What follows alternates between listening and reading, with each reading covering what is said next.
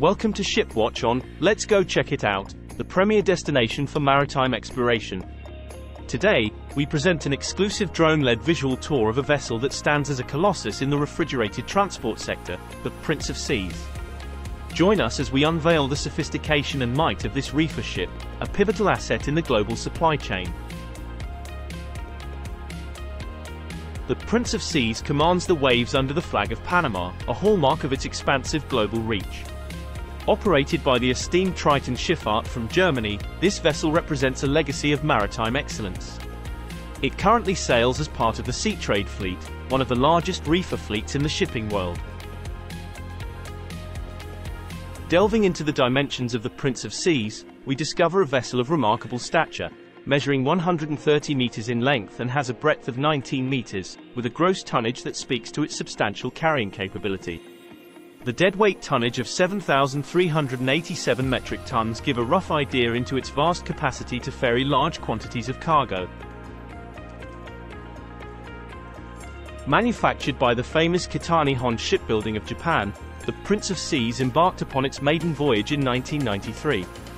Since then, it has stood as a paragon of resilience, withstanding the relentless test of time and tide, a testament to the shipbuilding prowess that birthed it. With the help of a continued detailed maintenance regime and the passion of its owners we hope that this will continue. One of the frequently asked questions we get is, what is a reefer ship?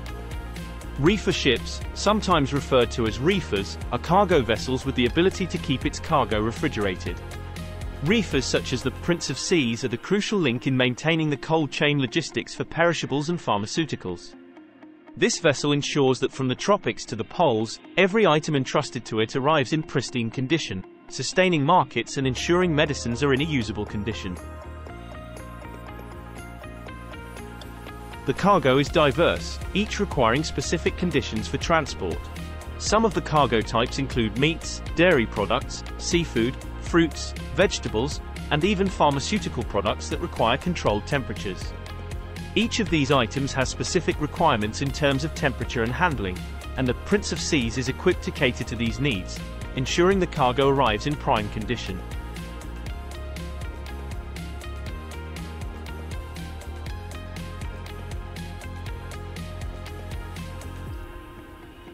Our focus shifts to one of the Prince of Seas' most noticeable features, its large sticking-up pulley-style lifting gear. These are known as derricks, Prince of Seas is fitted with a suite of eight derricks, each with a 5 metric ton lifting capacity. These can be used individually as a group of eight, or in a union setup as a group of four. Due to the vessel's lifting apparatus, it is extremely good in loading and unloading operations. We can see the lifting gear in action here shuffling items around on deck. The union mode where two work together allows greater precision when handling delicate loads.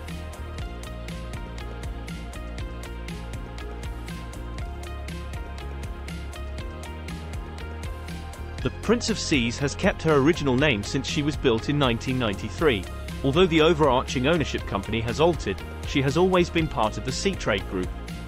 Seatrade themselves are known to run a reliable service when it comes to shipping items.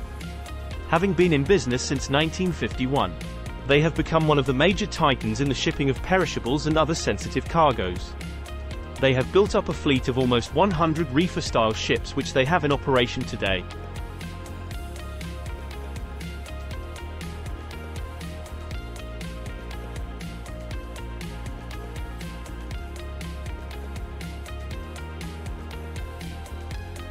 The footage here today was all filmed at Margate Roads Anchorage, at the entrance to the Thames estuary in North Kent. This anchorage is frequently used to shelter from incoming stormy weather and high winds. It is also used as a waiting area for further orders or unloading slots to free up at various ports.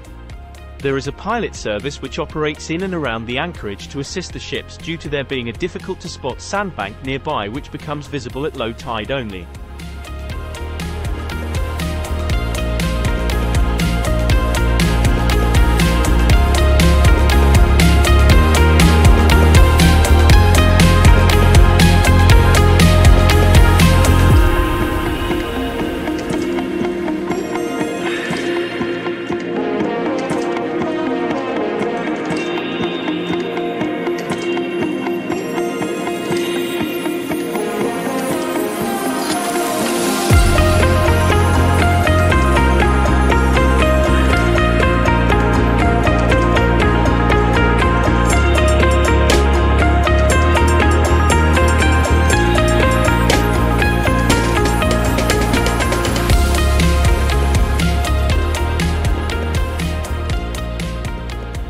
As our journey alongside Prince of Seas concludes, we thank you for your viewership.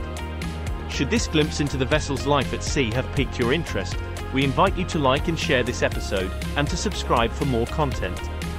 Join us again on Let's Go Check It Out, where the adventure never ends and the sea beckons. We would love to hear from you, leave a comment below and join our growing community.